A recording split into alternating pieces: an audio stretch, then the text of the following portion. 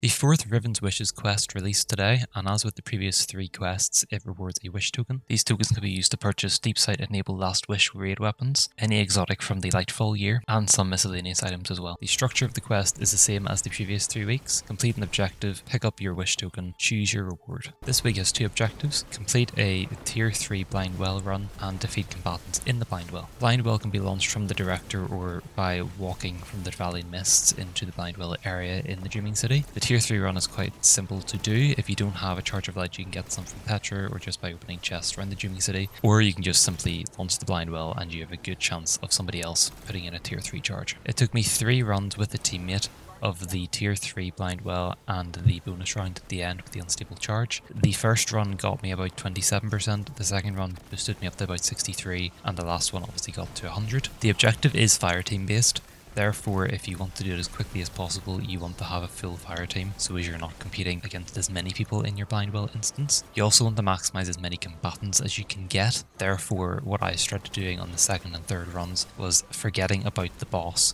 in the bonus round, which was the servitor meatball thing this week, and I just went around killing things. There seems to be significantly more enemies spawning in the bonus round, therefore if you just let that run to the end, because you don't have to complete it, you just have to get kills, you can just keep defeating combatants and you'll get a lot more percentage. Since this is a fire team based objective, I would recommend either getting friends into your fire team and running blind well, or perhaps using the fire team finder to get a lobby going. This will give you the fastest progression of the quest. If you want to do it solo, I reckon you can probably get it done in about 3 to 4, maybe 5 at a push runs of a tier 3 with the bonus round. It just depends on how good you are just killing as many combatants as you possibly can basically. Once you have completed that objective, you can go back to Mara, pick up your wish token and claim your reward. This week I haven't actually used the wish token yet as I got the Apex Predator rocket launcher crafted last week week because I went into Last Wish and managed to get it from the chest. So I need to decide what to craft. If you have any suggestions as to what I should claim with my wish token,